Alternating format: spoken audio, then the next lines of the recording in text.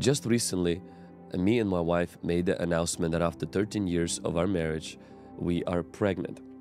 And we've been waiting for this blessing from God for 13 years. We've shared different things that we've learned in the process of waiting. And I want to share with you eight things you must do while waiting. Maybe you're waiting for God to give you the answer to your prayer. Maybe you're waiting for the promise of God to come to pass.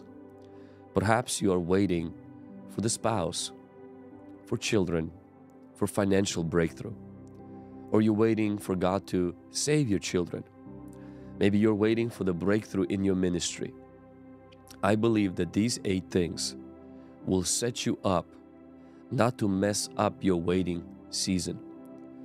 I have experienced many things in my life in regards to waiting. The one about the child has been probably the longest one. But the one about the ministry, breakthrough in the ministry, has always been also very extended period of waiting before I saw the breakthrough that the Lord brought in our ministry and now he's growing it's like a snowball effect and it's happening in our ministry the first thing that I want to start with and that is this obey the last thing God told you to do follow the last directive from God when God told Noah to build an ark, the Bible says, Thus Noah did, according to all that God commanded him. So he did it. Genesis chapter 6, verse 22. Noah built the ark. The Bible doesn't exactly tell us how many years it took him.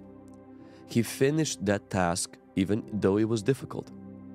We don't see God speaking anymore throughout the years that Noah was building the ark. But he was focusing on the last thing God told him to do. Maybe you are in the waiting season. I want to ask you a question Have you done what God told you to do? Obey in faith, even if you don't see the end. Even if that act of obedience you did in faith did not bring any changes, did not bring any results or breakthroughs, remember, God blesses obedience. Sometimes we get impatient in waiting and we ignore what God told us to do as a last thing or the last directive. Drop this in the chat. Obey the last thing God told you to do. Somebody else, drop this in the chat. Follow the last directive. Sometimes we want the Lord to give us a new instruction. Lord, give us a new direction. Lord, what should we do? Nothing is changing. It seems like we're stuck. And if God doesn't tell you anything new or different, do the last thing He told you to do. Because that last thing that Noah did, and then it was a long period of waiting, the rain didn't come. But when Noah finished building the ark, it took him, someone said, over a hundred years long time it took him to build the ark. We don't know for sure how many years. What we do know, it was a very long time. We don't see the Lord speaking again. We don't see any changes. We just see a long period of waiting and doing the last thing God told you. The second thing that I want to highlight when you're waiting, and that is this do not make an Ishmael. Drop this in the chat. Don't make an Ishmael. Number two, of waiting while waiting, don't make an Ishmael. Abram received the promise of children in Genesis 12. He receives it again in Genesis chapter 15 when God cuts a covenant or makes an agreement with Abram. It was a one way agreement. Even if Abraham wouldn't keep his side of the bargain, God would keep his.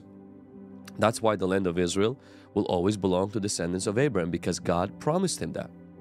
Now, the promise of the son, because it was not only the land, but God promised him a child. This promise didn't happen for a, a long time. So Sarah takes things into her own hands and she persuades Abraham to father a child with her maid, Hagar, in order to get a child. Wait, God didn't say anything about a child with Hagar. Abram, what are you doing? Eventually, at 100 years of age, Abraham had his promised son, Isaac. Ishmael became the father of the Arab people, who are still fighting the descendants of Isaac till this day. Just open any news and you will see Ishmael, you will see Isaac. They are still at war. Why did that happen? Because of Abram's own efforts to fulfill God's promise only resulted in problems and suffering. Don't take matters into your own hands when you are waiting. Don't birth an Ishmael, meaning something out of your own impatience, out of desperation. So many people end up in marriages, Ishmael marriages. They quickly, instead of waiting on God to bring the right person, they find a person that is in contradiction to God's word, in contradiction to the wise counsel of people that they trust, in contradiction to their own peace. But they're desperate. And then they wait on God to change that person. And they result in problems and suffering. Almost in everything where you have to wait on God, the devil will come and say, There's a shortcut. All you have to do is do this thing. You know, he told Jesus, There's a shortcut. All you have to do is worship me and you will have all the kingdoms of this world. You no longer have to suffer. You don't have to wait thousands of years when you come back as the lion of the tribe of Judah, as the root of Jesse, and as the king of kings and establish God's kingdom on this earth. You can get it right now through a shortcut. Jesus, I know you're hungry. You can fulfill your hunger by a shortcut. You know, Use God's power for your own personal benefit. Satan always will give you a shortcut. Waiting is a process of waiting upon God to bring an Isaac, to bring His blessing, His way. That's why waiting is painful because it's not just about God's will being done, it's God's will being done in God's way. Waiting is God's will being done in God's way. Let's drop this in the chat. Waiting is about God's will being done in God's way. When the devil comes, he gives you a shortcut, and that shortcut is so that you can birth an Ishmael and bring suffering in your life. What we see happening in Middle East today is Ishmael being born out of impatience, out of taking matters into your own hands. And this Ishmael, we see, is in war with Isaac. The son of the promise is in war with the son of impatience. And God is merciful. This is not to say that if you are a descendant of Arab or I am part of the Slavic descendants, we're Gentiles. That God doesn't love us, that God doesn't um, care for us, that we're somehow cursed. No, all of us are technically cursed because of descendants of Adam. But in this case, I'm relating to the story of Abraham he was impatient. He gave birth to Ishmael. Do not give birth to something out of impatience. When you're waiting, you know, thinking about Abraham's story, don't be discouraged when someone gets naturally what requires you by faith, what requires you efforts, walking by faith. Like you, you see so many people in the Bible who seem to have children, you know, immediately uh, not having any complications because it's a natural process by which God created us. But for people like Sarah, for people like Hannah, for people like Elizabeth, it, it took him a miracle. It took him breakthrough. It took God's intervention. And sometimes maybe you see that in finances, somebody gets naturally, it just seems like prosperity comes naturally to them. Maybe because of the way their parents raised them, the way their grandparents were doing things with integrity and doing things with education and doing things with connections and it seems like it's naturally for them to prosper and but for you it takes a lot of faith it takes a lot of perseverance don't be discouraged because of that don't be jealous of people and don't become impatient because of that it's okay to be hungry for God's blessing but never be desperate for God's blessing Stay desperate for God. Stay thirsty for God. Somebody drop this in the chat. It's okay to be hungry, but don't be desperate for God's blessing. It is God's desire to bless you. It is God's desire to bring you breakthrough. But He doesn't want you to be desperate for that breakthrough. He wants you to be desperate for Him. Be hungry, meaning desire breakthrough without being desperate. Because the moment you become desperate, what begins to happen is that you can fall into impatience and you can fall into birthing an Ishmael.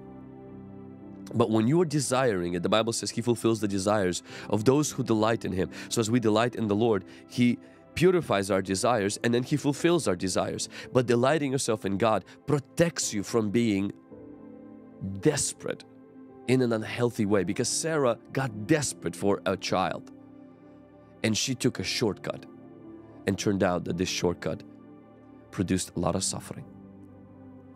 Amen. What happened with Abraham is that God, before He gave him a child, He gave him a promise. Let me say that again. Before God gave Abraham a child, God gave Abraham a promise. Drop this in the chat. Before God gives you a miracle, He will give you a promise. Hold on to that promise. Sometimes we discard the promise. Sometimes we ignore the promise. Sometimes we think that, ah, it's just a promise. When God quickens a word, gives you a vision, a dream, a clear picture of what that future is going to be. That's what vision is. A vision is a desired picture of the future. Vision, drop this in the chat. Vision is a desired picture of the future. It's a picture of the future that's desired, inspired by the Holy Spirit. That's what vision is. And when God gives you that vision, when God gives you that promise, sometimes that's a prerequisite. Sometimes that's like the John the Baptist, it's what's coming before the miracle. Like in our case with me and my wife, I knew about eight to nine years ago that the Lord wants to give us a child. In fact, not only I knew that, I had a very clear picture of a gender and the name. Told my wife about it. We prayed about it. We thanked God for it. And it took years before that became a reality. But God gave Abraham a promise way before he gave him a child. In fact, this promise was so real that Abraham was asked by God to change his name to match the promise, not his current problem. This wasn't some mental gymnastics. This wasn't just the power of uh, visualization or some kind of a, a power of a attraction, law of attraction, like the New Agers teach. This was God teaching Abraham faith. Abraham is called the father of faith. How was this faith given? God has a covenant with his servant Abraham. He gives him a promise. And then God comes and says, This is going to happen. I want you to change your name. No longer call yourself glorious father, but call yourself father of many nations. And also, go change your wife's name. Instead of calling her, you know, the queen, the princess, I want her to be the mother of nations. And for years, Abraham walks around with the changed name, but his circumstances were not changed. And I wonder if that's how the Lord works with many of us. He gives us a promise. This promise is so real in our spirit, in the spirit realm, and we hold on to it and we walk with that promise.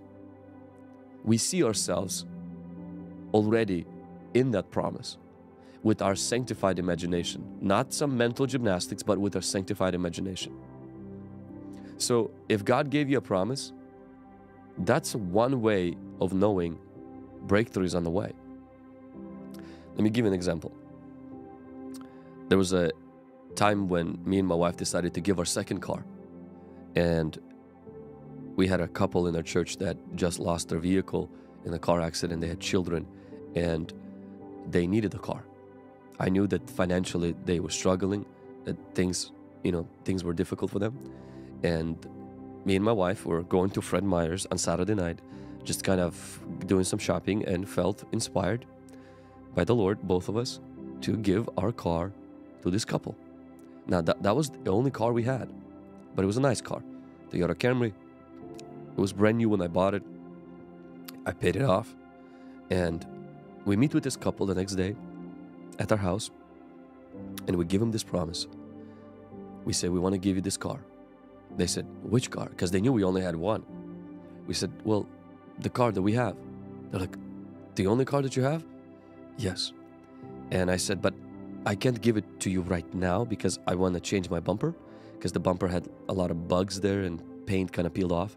And secondly, I want to change tires and get an alignment, meaning I want to improve the quality of the car, ch- change oil, and then we will give it to you. So they started to cry. They broke down. They said, "That's so precious. That's nobody's ever done this." Da da da. And so they were so grateful. And the moment they left our house, they left with the car, but they never got the keys yet. They told their family, "Hey, we got a car." And when the family said, "Where's the car?"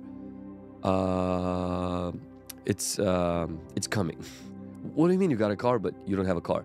Well, we have a promise from this person that we trust, and that promise is true because this person will not lie to us. And that person was me and my wife.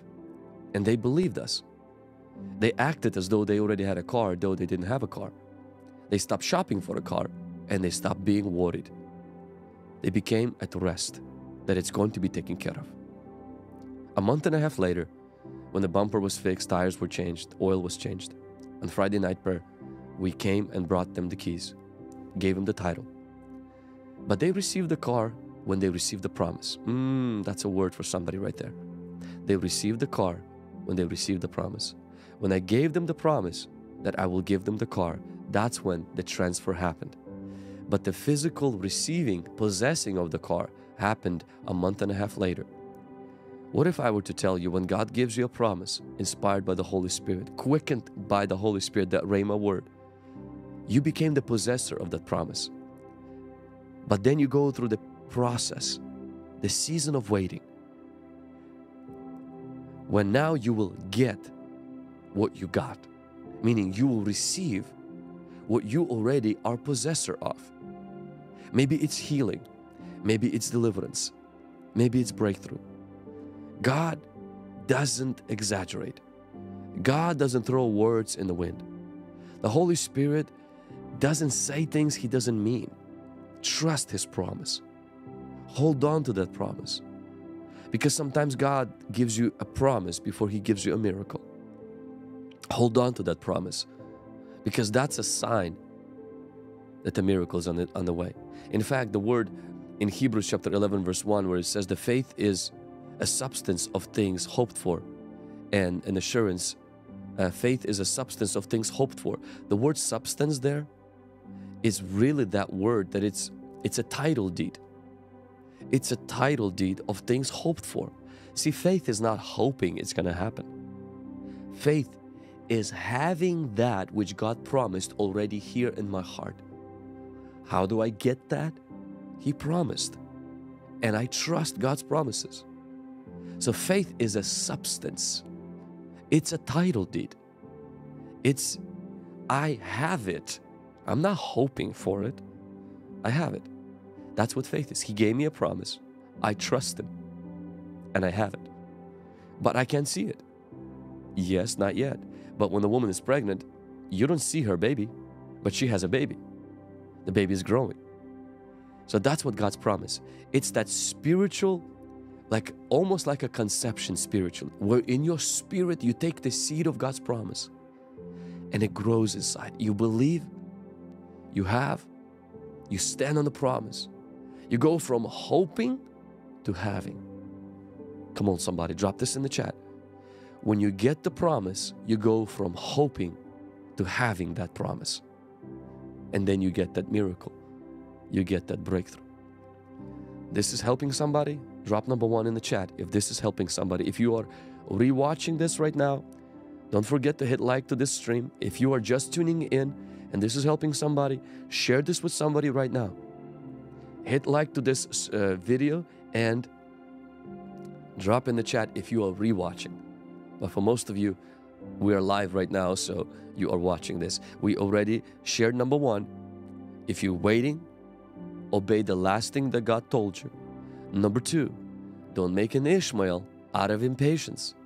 Sometimes God will give you a promise before He gives you a miracle. Trust in that promise. Let's go to number three. Don't go outside of the bounds of your assignment when you're waiting on God. Drop this in the chat. Don't go outside the bounds of your assignment when you're waiting on God. Example is King Saul, chapter 13, 1 Samuel chapter 13, verses 7 through 11.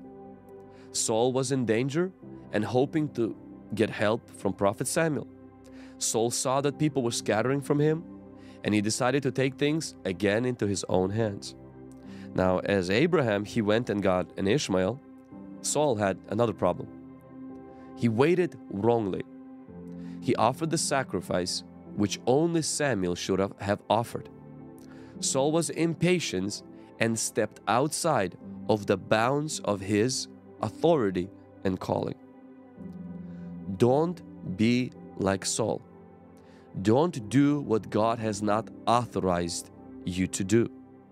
Don't take on more than what God told you to do. Don't, out of impatience, step out of where God has planted you, placed you, and asked you to wait for Him. Sometimes, what we do in waiting is we move from the place God told us to wait on Him. And we go into the place where God never told us to go into. Sometimes we go into those places because somebody else is doing that.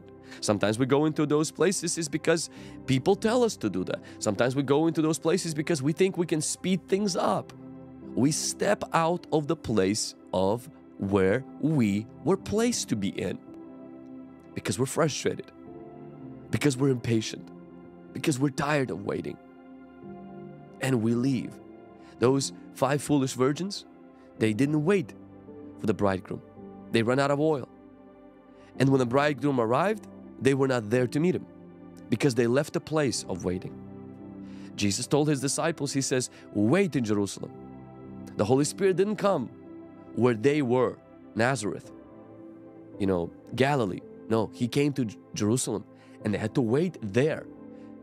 Now, 500 people saw Jesus ascend to heaven, but 120 were there when the Holy Spirit came.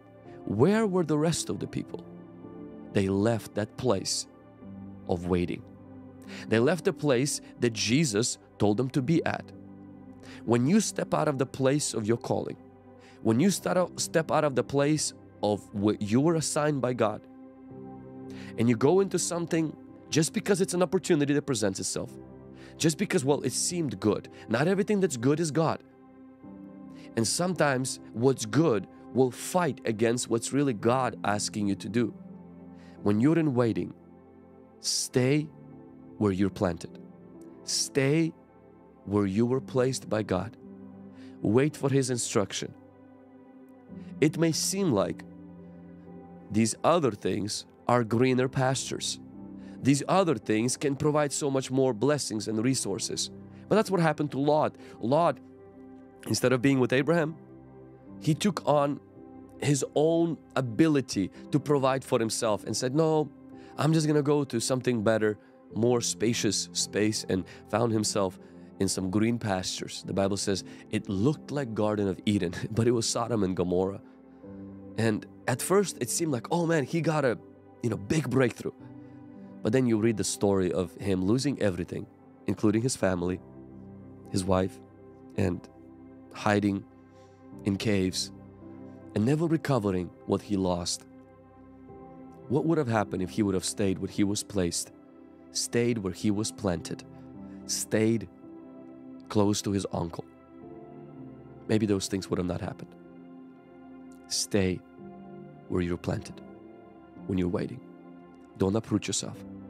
Don't become this plant that keeps getting replanted to different pot, uh, pods and you're losing your, your your grace. You're losing that anointing.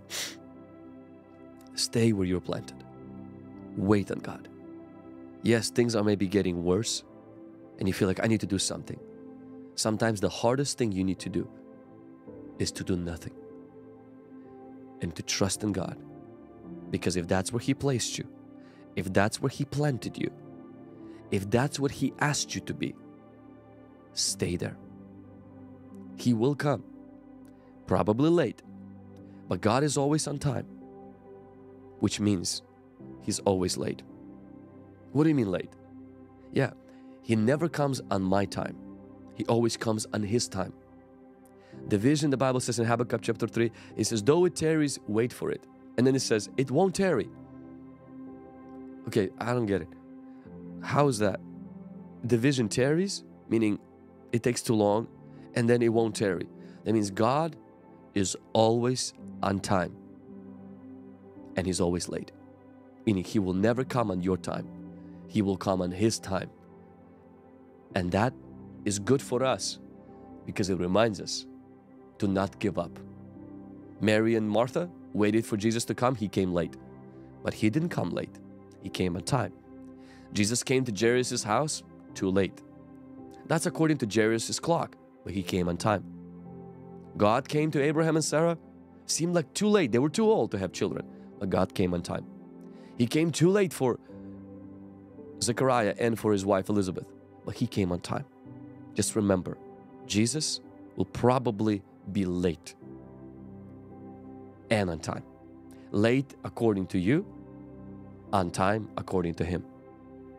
So when it feels like the Lord did not come on time, it simply means He didn't come on your time.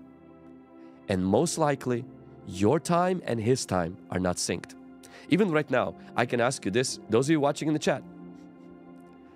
Let, let's, let's, let's do this. Tell me right now in the comments what time it is where you are watching. Now, if you are rewatching, let me know that as well. But if you're watching, go ahead and tell me what time it is right now where you are watching. And we will see something how all of us on the different parts of the world live in a different time zone. Look, 11 o'clock, 9 o'clock, 12 o'clock. Look at the different time zones right now coming up in the chat. But all of us are living on this earth in a different time zone. What if I were to tell you, God does not live on your time zone. Ooh, what a word. Drop this in the chat. God does not live on your time zone. He has his supernatural time zone that he lives in. So don't be surprised if God doesn't make it, his breakthrough doesn't come in your time zone. God's miracle is connected to God's timing, and God's timing is not always synced with your time zone. So trust Him. If it doesn't come in your time, trust Him that it comes on His time and He knows what He's doing and is coming to you on His time. Come on, somebody. So let's review. What to do while waiting? Obey the last thing God told you to do. Number two, don't make an Ishmael. Number three, don't go outside the bounds of your assignment. Number four, be patient in hope. Drop this in the chat. Number four, be patient in hope. Psalm 40, verses 1 to 3. I waited patiently. That means what waiting will do is create patience. I waited patiently for the Lord, and He inclined to me and heard my cry. He also brought me up out of the horrible pit, out of the miry clay. He set my feet upon a rock and established my steps. He has put a new song in my mouth, praise to our God. Many will see it and fear, and will trust in the Lord. David is saying, I waited patiently. It's possible to wait on God without being patient. In fact, one thing waiting will produce is patience. One thing that God one reason why God allows waiting is to produce patience. Drop this in the chat. Waiting produces patience. In fact, I don't think patience can be produced any other way except waiting. God cannot produce probably patience just because you read the word. You got to wait for something. Even James 1, 2, and 3 tells us that, brethren, as you fall into various trials, remember God is producing, these are producing patience. So, what do we do is that we wait patiently in hope. That's what David says I wait patiently for the Lord. I'm not just waiting for a breakthrough, I'm waiting for God, the God of breakthrough, to come. Also, I love this about David. He says it's okay to cry. Sometimes when you are waiting and you are waiting patiently and it's too long, you cry. It's not because you lack faith, it's because you're human. And it's okay to cry. It's okay to ask questions. It's okay to feel that and let God know how you feel. You don't need to bottle it up and pretend to be spiritually macho, spiritual macho. It's okay to let God know, Lord, I am tired of waiting. Lord, I am hurting. And then David begins to prophetically speak. He brought me out of the horrible pit. That means don't be discouraged by the trouble you're in. He will bring you out. In fact, I just want to prophetically use this scripture to speak that into your life. He can bring you out.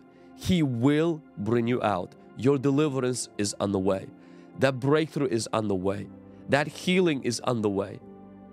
That salvation is on the way for your family members. That breakthrough for your ministry is on the way. He will take you out of the pit. He will take you out of the miry clay. He will establish your feet upon the rock. He will establish your steps. He will put a new song in your mouth. He will give you, you will go from complaining to praising. You will go from fear to faith. You will go from trials to transformation. You will go from difficulties to destiny. You will go from hardship into blessing because you've been waiting patiently for the Lord. So remember, waiting builds patience. Waiting produces patience. And patience is crucial because it forms your character. It builds maturity. Patience is important because then when you get that breakthrough, it doesn't go into your head because character has been built. It doesn't destroy you, your blessing, because you've been built in maturity. And I believe you cannot really be mature if you are impatient. Patience will be built in waiting. I waited patiently for the Lord. Praise be to God. Let's review. When you are waiting, these eight things we need to do. Obey the last thing God told you. Don't make an Ishmael. Don't go outside of the bounds of your assignment. Number three. Number four, be patient in hope. Number five, grow and become strong. Drop this in the chat. Grow and become strong. Luke chapter 1, verse 80, it says, So the child grew and became strong in the spirit and was in the deserts till the day of his manifestation to Israel. While John was in the desert waiting until God manifests him, puts him on the pedestal, puts him into his ministry for which he was born, he did not become atrophy. He didn't waste away, lose vigor due to underuse or neglect. He didn't just was passive. He built something, grew in the spirit, and became strong. Don't be lazy in the desert of your life. Come on, somebody, drop this in the chat. Don't be lazy in the desert of your life. Grow and become strong while you wait. God told Israelites, I will not drive out the enemies in the promised land in one year. He said, little by little until you increase meaning I want you to grow. And as you grow, I'm going to begin to prepare you and take you in into the promised land. When you are waiting for the promise, when you are waiting for the fulfillment of that promise, when you're waiting for that destiny, remember, in the process, God will develop you. So not only He develops patience, but He develops your gifts. He develops your habits. He develops your righteousness. He develops your holiness. He develops your holy, uh, your holy habits. He develops your disciplines. He develops your skills. He develops you. you. It's a learning process. This is not just you folded your hands and you're just like, hey, I'm just waiting until God calls my number. I'm just waiting until God gives me breakthrough. No, no, no. John didn't just in the wilderness wait. He grew and became strong. Don't waste your waiting by becoming lazy. This is so good. Drop this in the chat. Don't waste your waiting by becoming lazy in your desert. I'm going to repeat that again. Don't waste your waiting by becoming lazy in your wilderness time. Your wilderness time is not a time to waste. It's not a time to wait passively. You have to wait by growing in your wilderness. John the Baptist grew while he waited for his time to come to be manifested to Israel, as the Bible says. He grew strong and he also became strong. Don't waste your waiting by being lazy in your desert time. Yes, you're discouraged. Yes, it's hard. But take those classes, learn those skills, start writing, go on that run, go on that walk, get involved in the local church, serve. You know what waiters do in a restaurant? They don't sit, they serve. Do what waiters do when you wait on God. Serve. Mm. Drop this in the chat. Do what waiters do when you wait. Serve God. See, waiting on God is not passive, just patiently, passively killing time. Waiting on God is serving God actively in what you know He wants you to do. You know, when we were waiting to hear the news that we will have a child, we didn't wait 13 years by passively, idly doing nothing. You know, I wrote books, preached. We loved each other. Told my wife, you know, we didn't marry so that we can have children. We married so because we loved each other and children come as a result. We served. In fact, serve as you wait is the best way to not allow waiting to become a time when you are lazy.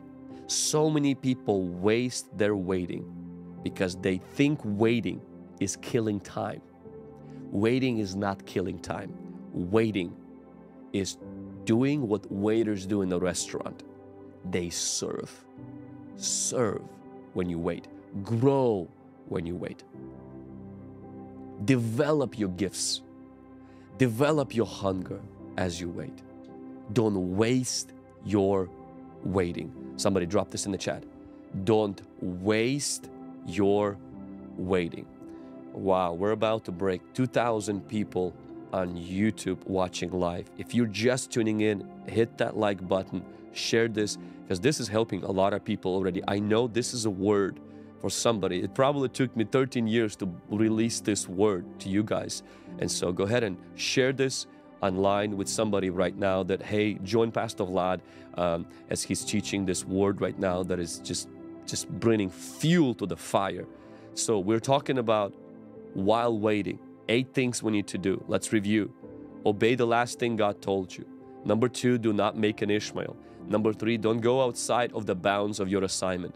Number four, be patient in hope. Number five, grow and become strong. Don't waste your waiting by killing time. Develop your gifts and skills. Number six, maintain your relationship with the Holy Spirit. So, number six thing that you need to do while waiting is maintain your relationship with the Holy Spirit. Simon or Simeon, he was told by God he's not going to die until he sees the child Jesus, the Lord's Christ. Imagine getting a prophetic word.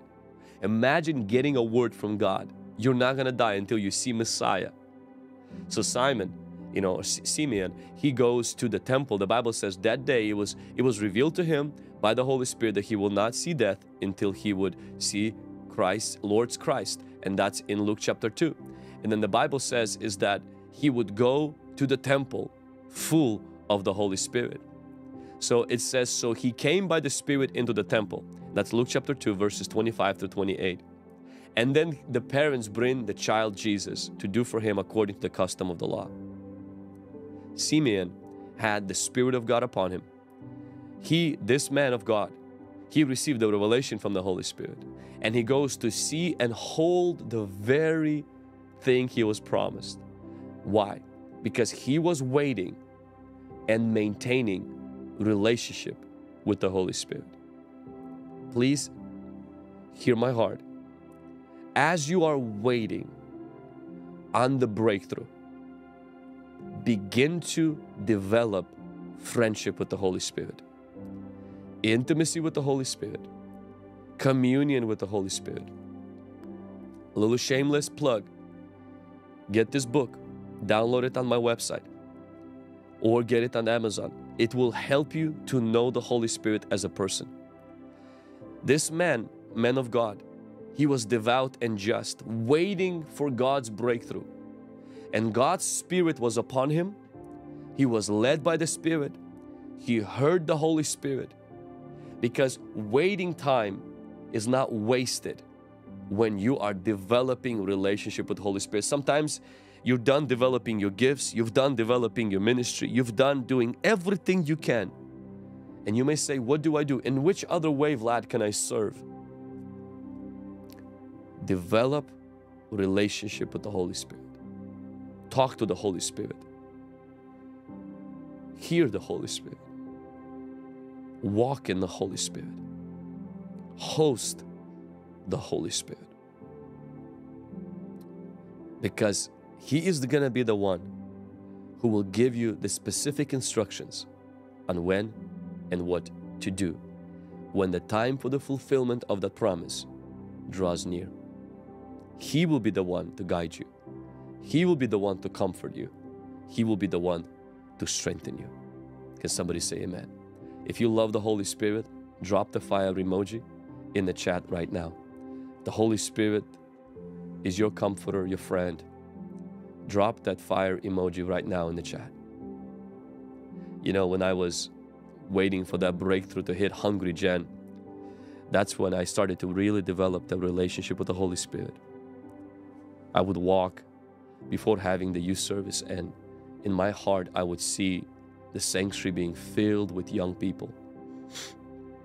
It wasn't true in real life, but it was true in my spirit. And then I would cry. The Holy Spirit would fill me with these visions because visions and dreams are the language of the Holy Spirit. So I would see this in my vision. I would see this in my in my in my heart's dream. It wasn't my ambition. It was his dream. And through that, I would cultivate that relationship with Him. I would close my eyes and reflect on His promises. Talk to Him and I say, Holy Spirit, I trust you that you will bring this miracle. I trust you that you will bring this breakthrough. I wouldn't see anything happening yet, but I would develop that relationship, see that vision through my sanctified imagination. And then slowly and slowly, like a like a pregnant woman, like a pregnant, not pregnant woman because I wasn't a woman and I wasn't pregnant. But like a pregnant woman, in my spirit, I would begin to see that vision grow, become more real. And then exactly what the Holy Spirit would show with time, it was becoming actualized right in front of my eyes. Like I went to the mountain um, last week, Monday, uh, Sunday night, Monday and Tuesday, and I have a journal where I write different things that the Holy Spirit um, shows to me and there's not too many of them, but they're pretty real to me. And and I saw one more thing that I saw that's gonna happen in our building before we move into a new building, and I wrote that down about a year ago. And man, when I saw that, I was like, oh my goodness, we're so much closer to that now than we were a year ago. I am so amazed of how amazing the Holy Spirit is. He's guiding me through the process of waiting. The Holy Spirit is speaking. The Holy Spirit is comforting, the Holy Spirit is leading. So I maintain relationship with the Holy Spirit in the process of waiting. Like this man of God did. When the Holy Spirit revealed to him, you will see God's Christ, you will see God's Son. And by the Holy Spirit, he came to the temple. So if you want to see the fulfillment of those promises given to you by the Holy Spirit, walk in the Holy Spirit. He is the key to help you get to that. That's why I wrote the book, Host the Holy Ghost, to help people maintain a relationship with the Holy Spirit. Because a lot of people, what they do is they they know about the Holy Spirit, but they don't know they don't have a relationship with Him. They don't have a relationship with the third person of the Trinity. And my desire is to put this understanding of the relationship with the Holy Spirit on the bottom shelf where everybody can understand it and walk in it and live in it. And I pray that it becomes a blessing to your life in Jesus' name. Now, two more things that I wanted to share. Number seven is rest. You have to rest when you are waiting. Drop this in the chat. Rest when you are waiting. Revelation chapter 6 and verse 9 through 11, it says that when God opened the fifth seal, he saw the John says, I saw under the altar the souls of those who have been slain for the word of God and for the testimony that they held. They cried out with a loud voice, How long, O Lord, holy and true, until you judge and avenge our blood on those who dwell on the earth? And then a white robe was given to each one of them, and it was said to them that they should rest a little while longer. Hmm. Drop this in the chat. Rest a little while longer. Rest a little while longer until both the number of their fellows and servants and their brethren who have been killed as they were was completed. Don't be agitated and restless when you wait. It only hurts you. Be at peace until God's plan plays out, until all that God plans to happen happens. Rest. God got you. I like to tell people that trust in Him. Trust is this passive confidence God got you.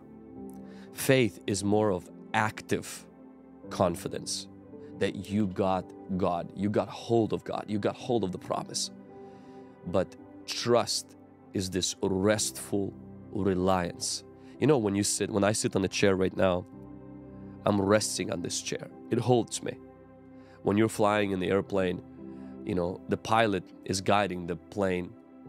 You don't check his credentials. You don't have an interview with him before the flight. You trust in him, and the way you exhibit, you portray, manifest your trust is you sit on that chair in your seat and you restfully wait for Him to get you that, that destination. Well, God is your pilot. Trust in His promise by resting. Don't become restless, agitated, impatient. That only hurts you. That only hurts you. Rest a little while longer maybe just a little bit longer. Rest. Don't become restless. Come on, somebody. Rest a little while longer. He is faithful who began the good work. He will complete it until the coming of the Lord Jesus Christ, until the breakthrough is coming. Now, the final thing that I want to share with you, and that is this prayer is how we wait for the promise. Prayer is how we wait for the promise. Jesus says in Acts chapter 4 that do not depart Jerusalem, but wait for the promise. And then 10 verses later, how do disciples wait? The Bible says these all continued with one accord in prayer and supplication. Drop this in the chat. Prayer is how we wait for the promise. So let's review this. Eight things we must do while waiting. Number one, obey the last thing God told you. Follow God's last directive. Obey in faith, even if you don't see the end. Number two, don't make an Ishmael. Don't, out of impatience and desperation and discouragement, step out into the flesh and do something of your own ability. Number three, do not go outside of the bounds of your assignment. Stay where you're planted. Don't do what God has not authorized you like King Saul did. Number four, be patient in hope. Remember, waiting builds patience. And as you are waiting, be patient because God is building that. Number five, grow and become strong. Like John the Baptist, he was growing in wilderness. Don't waste your wilderness seasons. Do what waiters do in the restaurant serve. That's how you don't waste your waiting. Number six, maintain relationship with the Holy Spirit. As Simeon, he was reminded by God, he was told by God he will see the Christ. But it's by the Holy Spirit he came to the temple. That's where he saw Christ. When you walk in the Holy Spirit, he leads you into those promises becoming real. Number seven, rest while you're waiting. Rest a little while longer. As those people who were killed were crying out, Lord, when, when, when are you going to come through for us? And he says, rest a little longer. So rest in God, trusting he got you. And number eight, like disciples were promised of the Holy Spirit coming. And Jesus says to wait in Jerusalem. The way they waited is through prayer. So prayer is how we wait for the promise. Waiting will always feel like wasting, killing time if you're not praying. Amen. Has this been helpful to anybody? Drop number one in the chat. Let's begin to pray right now. I want to pray drop a prayer emoji in the chat as well. If you're just tuning in right now, logging in, and you are on YouTube, don't forget to hit like to the stream. And if you are rewatching, also share in the stream that you are rewatching, or if you're listening on the podcast uh, down the road. We love and appreciate you. I want to take a moment right now and pray for you. The precious Holy Spirit is going to come and strengthen your waiting. I know many of you have been waiting for so long. Today, the Lord is going to strengthen. He's going to pour some water on that desert. He's going to pour some grace. Lord, we thank you. Holy Spirit, I thank you for your presence right now. Lord, I ask you for every person that is watching this stream, rewatching this, listening to this. Lord, they are waiting for the promise promises you made to each and every one of them. Lord, as you did it for me and my wife, as you did it for Hungry Gen, as you did it for many, many areas of our life, I ask you right now, Holy Spirit, would you come powerfully into their life right now? I ask you, God, would you strengthen those who are weak? I ask you, Lord, would you encourage those that are battling illness, attacks, and they are tired of waiting. Lord, would you produce patience? Lord, I ask you, would you help them to be obedient to the last thing you told them? Lord, would you help them not to lose hope? Would you help them to wait patiently on you? Would you help them not to be passive, lazy, but to serve and stay active? Lord Jesus, I ask you, would you help them to walk in the Holy Spirit as they are waiting for the promise? Help them to walk in the promise. Walk in the presence as they walk in the promise. Lord, I also ask you for those that maybe became prayerless as they are waiting because they got discouraged. Help them not to be so desperate that they birth Ishmael and they birth things that are not from you, Lord. In the name of Jesus. Dear Holy Spirit, I just pray for rest to come right now for those who are agitated, restless, impatient, struggling and hurting in the name of Jesus. Come, Holy Spirit. Come, Holy Spirit. In the name of Jesus, help us, Lord. Strengthen us, Lord. I will wait upon the Lord, and He will renew my strength. Those who wait upon the Lord, they renew, they will renew their strength as you wait upon God. Walk in His presence. Walk in that process of Him developing you, strengthening you, and blessing you. He will pull you out. He will come through. Your day of breakthrough is coming. Your day of healing is coming. That shift is coming. That shift is coming in Jesus' name. Hallelujah. Thank you, Lord. Thank you, Lord. Thank you, Lord. I feel tangible presence of the Lord Jesus Christ in the Holy Spirit in this stream right now. Just receive that. Receive that from the Lord. Receive that from Jesus right now. Thank you, Lord. Thank you, Lord. Drop this in the chat. Breakthrough is coming. Because it is. Breakthrough is coming. Thank you, Lord. Breakthrough is coming. I want to now invite you if this stream was a blessing to you, would you consider sowing into this word, into this ministry? As a ministry, we provide all of our content free of charge. And we provide e courses, books, reading plans, uh, preachings um, in Spanish language, a YouTube channel, in Russian language YouTube channel. And we are able to do that because of your giving. So I wanted to say first and foremost, thank you for every person that's, that has ever given to this ministry. I want to say thank you to all the partners, and I'm looking forward to seeing you tomorrow at our partners uh, Zoom call. And if you have never given or you have never become a partner and you are able to, if God has blessed you financially, I want to ask you to prayerfully consider becoming a partner with our ministry or to give one time if that's what the Lord puts on your heart. You don't need to do that. Um, you don't, um, how shall I say? Uh, it's our gift and our pleasure to bring these streams. And we will continue to do that because God will provide for this ministry. We're not desperate, we trust in God. And so, but I do want to partner with you. For those of you who especially love this ministry, you believe what the Lord is doing, you love the fact that we offer all of that for free of charge to people. And um, our courses with over 100,000 students in it. And we provide books and all of that stuff. So a lot of you are like, man, I love that. I appreciate that. And so just join us as well so that you can be a part of that. That would mean a lot to us. And those of you who received this word today and, you know, don't just dine and dash, uh, I want to encourage you to uh, sow into this ministry for the glory of God. So appreciate you. Thank you. And God bless you.